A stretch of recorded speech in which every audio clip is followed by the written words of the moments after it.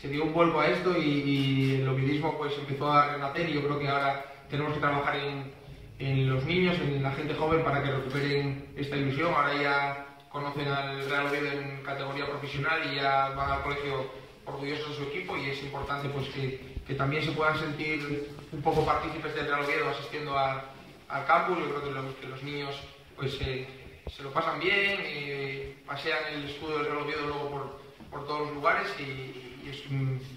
yo creo que, es algo muy bonito eh, para el club, para los niños y que es, está bien que se mantenga. Me quedo con esas dos cosas que dijo Marcos, que es el año del 90 aniversario y es el primer campus que hace el Oviedo en categoría profesional y creo que es algo, algo bonito y que es el primer paso para que los niños sigan creyendo todavía más en el Oviedo. Eh, bueno, el, el, campus es de primera, o sea, eso sin ninguna duda. Eh, ahora que el Real Oviedo esté en primera, eh, pues claro que puede, que puede ser, eh, pero queda muy lejos. Te lo digo de, verdad, que además yo creo que ya no sirvió de, de escarmiento lo que las cuentas, echar las cuentas de la lechera, das por hecho que ganas en, Bilbao y, y, si ganas el siguiente y vas a Bilbao y Palmas.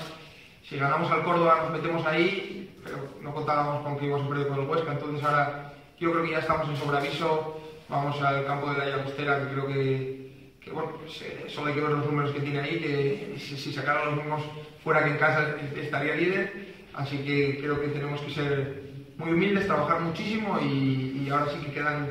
eh, seis partidos. Eh, hubo, yo creo que hubo alguna pequeña duda o alguna crítica o, bueno, o algún pensamiento de si eran finales o no eran finales y yo creo que las finales son como jugar a los chavales este domingo. Eh, los quedamos por uno menos y el entendió que era una final, los jugadores entendimos que era una final y se peleó hasta la extenuación. Entonces, sí que creo que ese es el, el camino que tenemos que,